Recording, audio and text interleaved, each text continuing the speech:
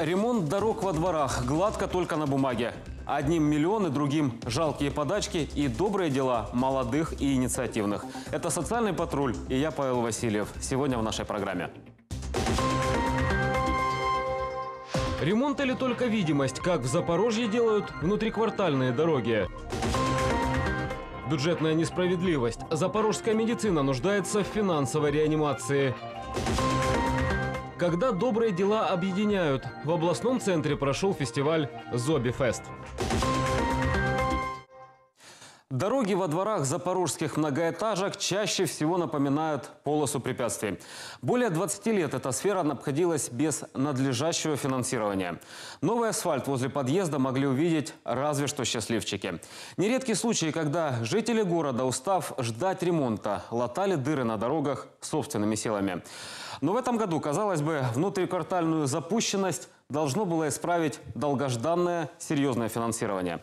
Целых 30 миллионов гривен в 6 раз больше, чем в прошлом году. Учитывая, что ремонт одного квадратного метра бюджету обходится около 300 гривен, новый асфальт должен был появиться на 100 тысячах квадратных метров запорожских дворов. Правда, на пути коммунальных служб возникла другая проблема. Бюрократия долгие месяцы не давала приступить к работам. А тут еще и бдительные запорожцы начали замечать, по документам ремонт вроде как есть, а во дворе его нет.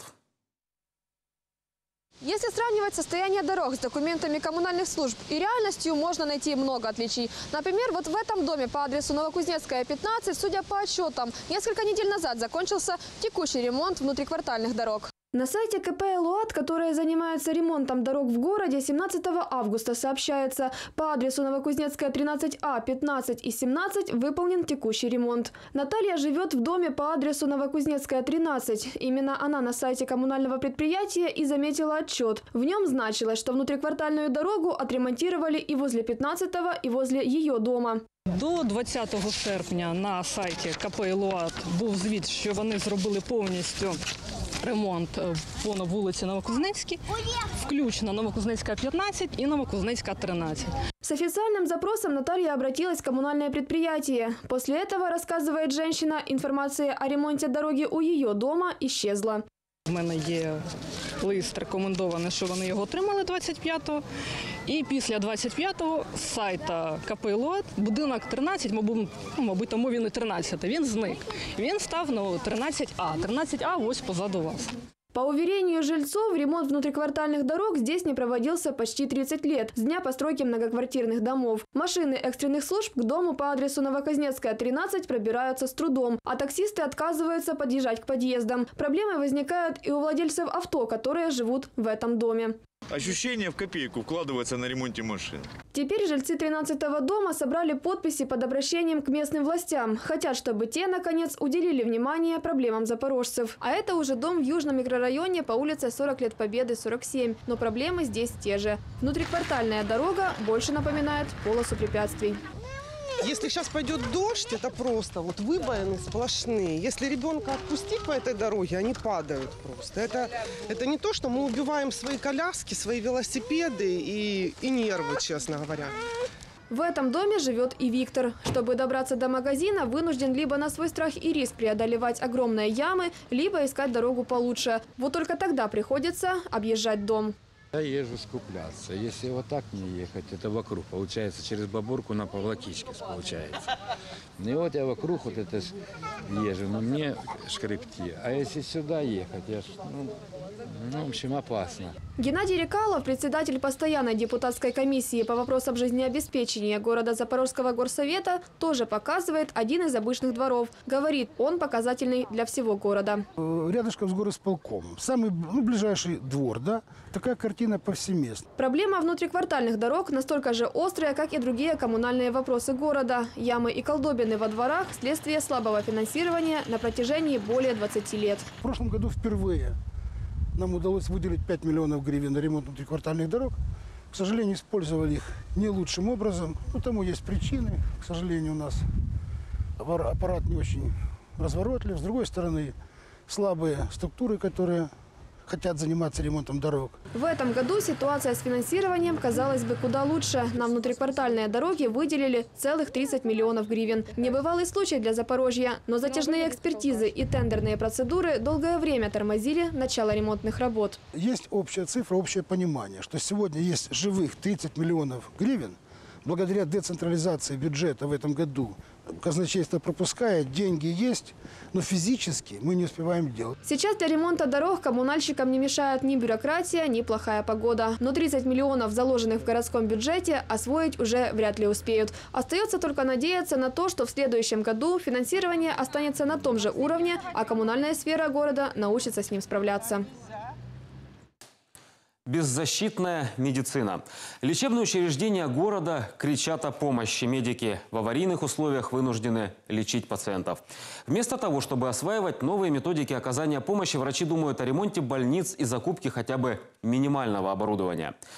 Так в Запорожье функционирует 35 лечебных учреждений, четырех уровней медицинской помощи. В целом, из городской казны на содержание сферы здравоохранения в этом году предусмотрено почти 620 миллионов гривен. К слову, это примерно одна шестая бюджета областного центра на 2015 год. Тем временем медики сетуют, бюджетные средства расходуются нерационально. Одним медучреждениям достаются миллионы, а другим лишь несколько тысяч гривен. Для примера возьмем финансирование двух самых крупных лечебных учреждений города – городской клинической больницы экстренной и скорой медицинской помощи и 9 горбольницы. По официальным данным, годовой бюджет первой составляет немногим более 97 миллионов гривен, второй порядка 63 миллионов.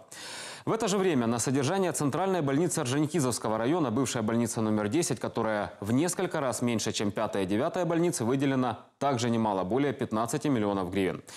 При этом, если рассматривать бюджет развития этих трех больниц, а это средства на реконструкцию, ремонт и приобретение оборудования, то данные впечатляют. Что касается реконструкции, то для пятой горбольницы в бюджете развития предусмотрено более 2 миллионов гривен, для десятой – 2 миллиона 100 тысяч гривен. Девятая больница в аутсайдерах. По мнению депутатов, для развития девятой больницы будет достаточно и 8 тысяч гривен. Есть ли перспективы у запорожской медицины с таким распределением бюджета, выясняла Ирина Погоренная. Запорожская городская многопрофильная клиническая больница номер 9 – одно из самых больших лечебных учреждений города. Обслуживает треть населения областного центра. В последние несколько лет, говорит главврач Кирилл Нерянов, больница стала бельмом в глазу запорожских властей. Считает, в корне проблемы две причины – непрофессионализм сотрудников Горздрава и личная неприязнь представителей власти к его персоне. Если и дальше так будет продолжаться, то мы вернемся к земской медицине. Последняя закупка медоборудования, подчеркиваю, медицинского, именно медицинского оборудования, потому что оборудование мы закупали в прошлом году, но это дизель-генератор.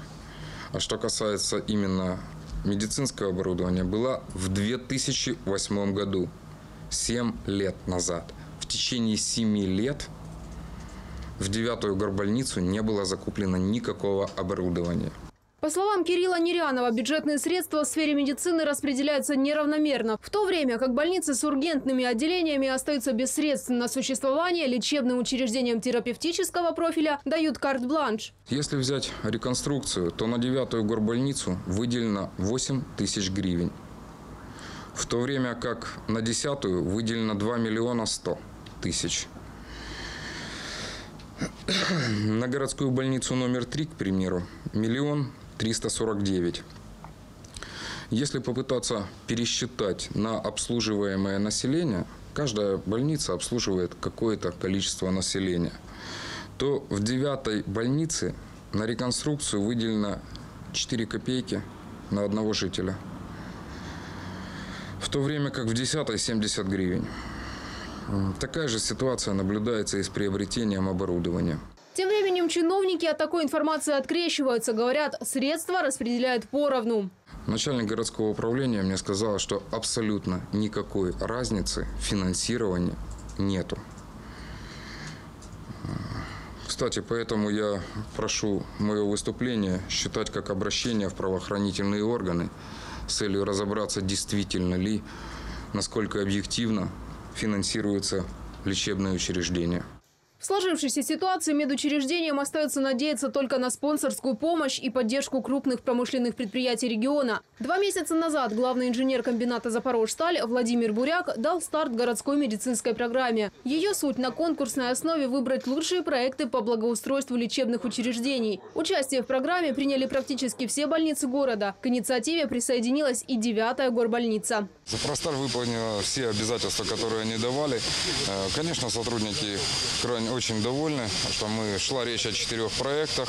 Это ремонт в приемно-диагностическом отделении, это ремонт в отделении переливания крови в операционной, это обновление оргтехники, мы полностью обновили оргтехнику в стат-отделе, и это установка э, камер видеонаблюдения.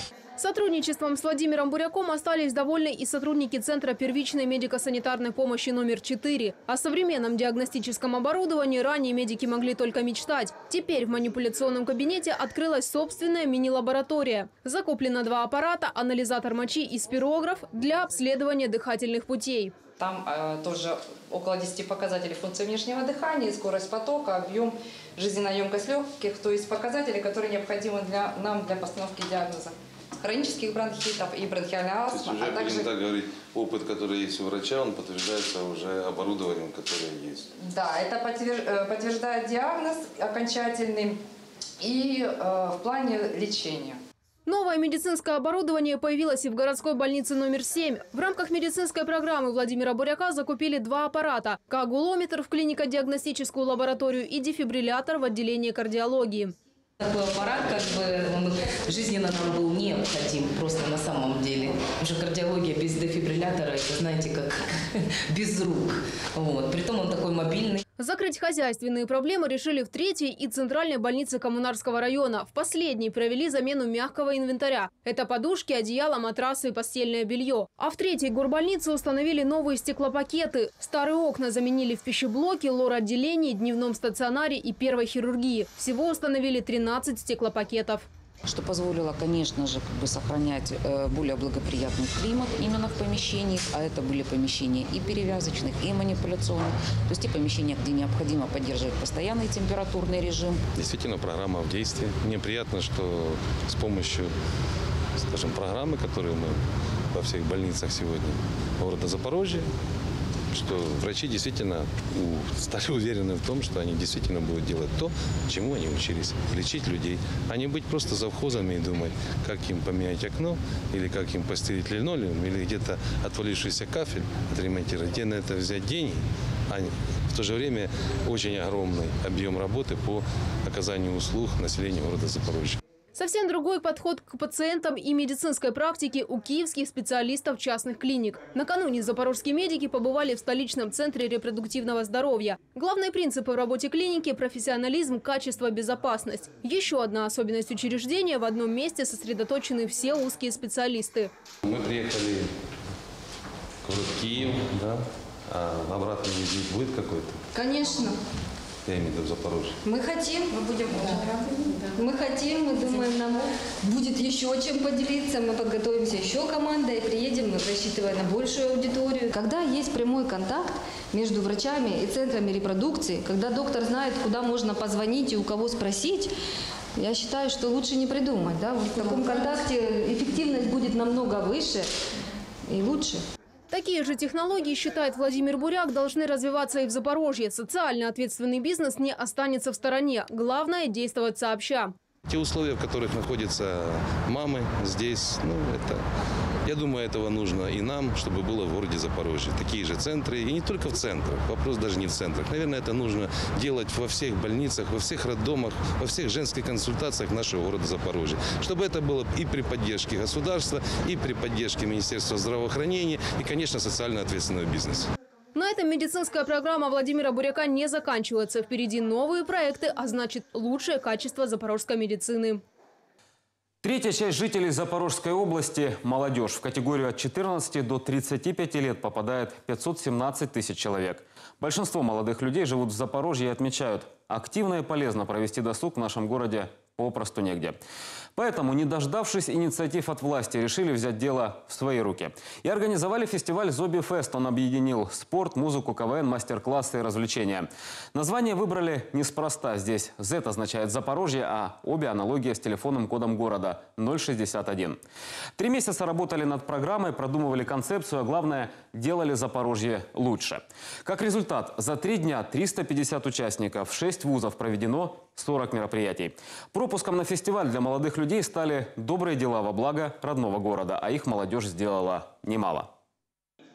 Студентка Ярослава родом из Кировограда. В Запорожье приехала учиться в медицинском университете. Когда узнала о фестивале, долго не раздумывала, какое доброе дело станет для нее пропуском на Зоби Фест. Я вообще недавно здесь приехала, я не местная. Я, когда пошла на пляж, ну, типа, Запорожье, Днепр, красиво. А в моем городе нет огромной речки, нет пляжа.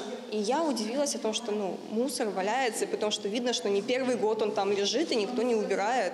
Я выделила время, пошла, ну, сняла, мне было несложно, до и после, и выложила, и поехала, чтобы пообщаться и разнакомиться с другими ребятами из города Запорожья. По итогам конкурса вместе с Ярославой пригласительные на первый Зоби-фест получили 350 человек. Это значит, столько же добрых дел было сделано в городе. Запорожские студенты удивили организаторов оригинальными идеями. Наши ребята очень э, круто креативили. Они начинали с малого. Кто-то покормил э, бродячую собаку, кто-то покрасил лавочку, ворота, убрал мусор, делали субботники, э, помогали людям пожилого возраста переходить через дорогу, выходить из транспорта. Это говорит о том, что молодежь нашего города действительно душевная, настоящая, живая, и они не безразличны к тому, что их окружает. Многие настолько довольны результатом, что обещают повторить свои добрые дела. Теперь уже не ради билетов на фестиваль, а во благо города. Это главное достижение, уверены инициаторы проекта.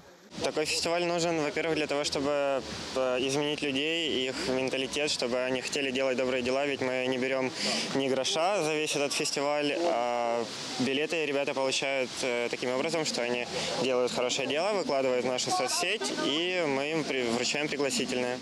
В обмен на добрые дела – увлекательный трехдневный отдых на берегу Днепра. Здесь каждый мог найти развлечения по душе. От спортивных игр до мастер-классов по танцам и диджеингу, соревнований команд КВН и интеллектуальных конкурсов. Ну а центром фестиваля стал бассейн. Фестиваль очень крутой на самом деле, очень много молодежи, очень интересные ребята.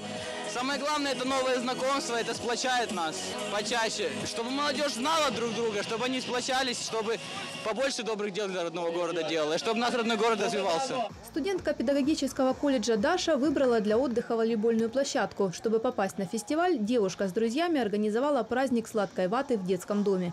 Обалденно. Я, честно сказать, не думала, что будет настолько все организовано, организация вообще на высшем уровне. Во-первых, э, общение нормальное. Вот. Во-вторых, э, активный способ э, проведения времени своего.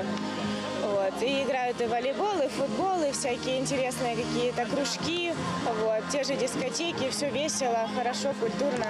Вот. В общем, море положительных эмоций, в все классно. А для тех, кто приехал не только отдохнуть, но и чему-то научиться, проводили различные мастер-классы. Ребята осваивали гипноз, графический дизайн и участвовали в дебатах. Ну, это мероприятие, это замечательный повод э, для того, чтобы собрать ребят э, и показать им, что помимо развлечений э, в нашей жизни должно быть какое-то интеллектуальное развитие, и оно может быть интересным. А дебаты развивают критическое мышление, они развивают уверенность в себе, умение выступать на публике, тайм-менеджмент. И вообще дебаты — это место, где собираются люди, единомышленники, поэтому это замечательный способ найти тех, кто близок к тебе по идеалам идеалам жизненным. Все три дня фестиваля были расписаны буквально по минутам. В короткую программу организаторы вместили четыре десятка образовательных, спортивных и развлекательных проектов. Для местных студентов это не только дополнительные знания и заряд позитива, но и новые знакомства. Идея очень крутая. Если было бы каждый год, я бы такой, чтобы каждый месяц было такое. Ну, действительно, потому что очень крутая. Э, сплачивает вообще коллектив, все универы, как бы все, все студенты. Это очень круто. Действительно очень круто. Я скажу, так в Киеве такого нет, на самом деле. Ну, реально нет. Это круто, что сделали в Запорожье, мне очень нравится. Участники Зоби-феста отметили таких мероприятий, где молодежь может с пользой провести свободное время, развиваться физически и интеллектуально, в Запорожье катастрофически не хватает. Если вот э, сделать этот фестиваль таким, чтобы о нем знало, я не знаю, все общество, все, э, вся Украина, все Запорожье, Запорожская область, там, всех, всех, всех, привлекать, то будет очень событийно, это будет очень круто, и можно расширяться, расширяться, запасаться новыми какими-то идеями и так далее, привлекать э, какие-то более крутые команды, э, привлекать людей, и тем самым делать э, жизнь Запорожья веселее и интереснее. Идея фестиваля принадлежит студентам. Три месяца они самостоятельно разрабатывали программу мероприятия. За помощью в проведении обратились к главному инженеру комбината «Запорожсталь» Владимиру Буряку. Он идею поддержал. Как настроение? Нравится все это? Так в следующем году проводим.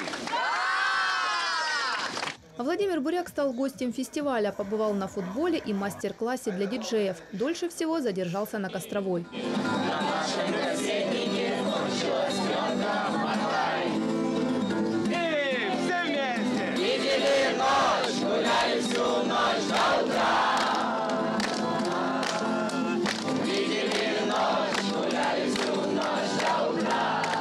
Впечатление просто великолепное, честно. Вот великолепное впечатление. Такое впечатление, что я вернулся, ну, скажем, там, лет на 30 назад. Вот, правда, это приятно. Приятно, что это непринужденно. Приятно, что они находят общий язык, они быстро сближаются друг с другом. У них общие интересы, у них общие проблемы. Просто великолепно. И нам всем нужно, взрослым, э, ответственным людям, действительно поддерживать эти молодежные движения, которые у нас существуют. И я скажу с большой уверенностью, что в следующем году такой же фестиваль, он будет здесь, на этом месте. О том, что Зоби-фестиваль станет ежегодным, мечтают и сами студенты. Говорят, мероприятие достойно даже того, чтобы быть всеукраинским. Что объединяет запорожскую молодежь и почему раньше в городе не было таких фестивалей? Об этом разговор с нашим сегодняшним гостем, помощник Владимира Буряка по вопросам молодежной политики Сергей Ильченко. Добрый вечер. Добрый вечер, Павел. Сергей, судя по всему, первый блин комом не вышел, фестиваль действительно получился. Тяжело ли было его организовывать и тяжело ли было помогать в его организации? Фестиваль действительно получился, но было не тяжело. Было очень интересно, потому что самой организацией занималась наша молодежь, наше студенчество, которые вышли с инициативой по проведению этого мероприятия. С- со стороны э, Владимира Викторовича Буряка, который поддержал эту инициативу, э, была кор- корректировка, было направление, э, были подсказки. Но если брать в общем, это все лежало, вся ответственность лежала на студентах. Мы дали им такую возможность себя проявить, показать, э, насколько они разноплановые, насколько они разносторонние. И их желание было осуществлено. Тому подтверждение шикарный фестиваль «Зоби Фест», который объединил 350 студентов города Запорожья. Кому принадлежит идея с пропусками, добрыми делами? То есть их надо было как-то документировать, фотографировать. Что нужно было сделать вообще, чтобы попасть на фестиваль? Идея, конечно же, от организаторов. Э, В нашей команде э, волонтеров-организаторов было 25 э, студентов разных вузов, э, которые креативно подошли к решению этой, этого вопроса. Хочется сделать город лучше. Э, Крупномасштабные какие-то акции проводить студенты, к сожалению, не могут, потому что у них нет ресурсов, нет поддержки со стороны городской власти. А вот сделать что-то мелкое, что-то э, личное, персональное они могли. И тому подтверждение покрашенные лавочки, мини-субботники, э, наведение порядка, порядка в ближайших домах. Это реально объединило всю молодежь города Запорожья и дало им возможность себя проявить и заработать пригласительный билет на Зубе фестиваль. Как по-вашему, что кроме добрых дел э, может объединять молодежь и участников фестиваля, который прошел? Но если проанализировать э, подготовку, реализацию проекта и итог всего фестиваля, то объединить может командная работа и желание изменить состояние города Запорожья, состояние молодежной политики к лучшему. Вы планируете второй фестиваль? Э, Планирует молодежь, как это и должно быть в городе Запорожье. Э, Нельзя э, навязывать молодежи то или иное направление, то или иное мероприятие. Понятно, что э, согласно традиции в бюджете э, в плане мероприятий заложены одни и те же мероприятия, одни и те же суммы, но время не стоит на месте, мы идем вперед, уже очень много новых направлений, которые надо развивать, и к которому молодежь э, прикасается, и они хотят идти дальше. Есть ли у нас молодежная политика в городе? Мое личное мнение, что молодежная политика в городе Запорожье отсутствует. А если быть правильным, то поддерживается по остаточному принципу. Тому подтверждение, что молодежи реально некуда пойти. Э, Нет спортивных зданий, нет э, спортивных площадок. Вот, кстати, э, буквально полтора месяца назад по поручению Владимира Викторовича Буряка, главного инженера комбината «Запорожсталь», мы провели инспекцию футбольных полей в городе Запорожье. И я хочу вам сказать, что ни в одном районе города Запорожье нет полноценной спортивной площадки. Все в ужасном состоянии. И молодежь нигде, не может нигде себя проявить, даже вот в спортивном направлении. Это очень обидно, очень печально для такого крупного промышленного города, как Запорожье. И у молодежи есть желание развиваться, есть желание себя, себя проявлять. Они это смогли осуществить на фестивале Зоби Фест, и они не хотят останавливаться. Они хотят идти дальше. И я уверен, что вот с такой вот активной молодежью, с которой мы плотно работаем, сотрудничаем, дружим, у нас такое молодежное движение будет развиваться, и молодежная политика, конечно, станет приоритетом номер один. Но я думаю, что это уже будет, скорее всего, в команде нового мэра, новой власти, которая э, совсем скоро придет э, в городе, в городе Запорожье. И э, не случайно говорят, что рыба гниет с головы. Если э, на данный момент у действующего мэра Александра Чинсановича Сина это не приоритет молодежная политика, э, то ну, какая, какой мо- может быть приоритет, например, у начальников тех или иных э, отделов, управлений? Еще раз говорю, это подход по остаточному принципу. И тому даже подтверждение сумма в бюджете города Запорожья, которая э, направлена на развитие молодежи, это всего лишь 400 тысяч гривен. А для сравнения, на комбинате «Запорожсталь» э, на молодежную политику, на молодежь, которая насчитывает около 6 тысяч человек, выделяется 4 миллиона гривен. Это вот реальный показатель. В городе Запорожье молодежь достойна большего, лучшего. И я уверен, что совместными усилиями и с новой властью, которая совсем скоро придет, мы сможем это объединить. И я повторяюсь, молодежная политика станет приоритетом. Есть молодежь, есть будущее. Большое спасибо. Я напоминаю, у нас в гостях был помощник Владимира Буряка по вопросам молодежной политики Сергей Ильченко. Решить проблемы можно только вместе. Объединяйтесь. Это был «Социальный патруль» и Павел Васильев. Увидимся через неделю. Будет много интересного.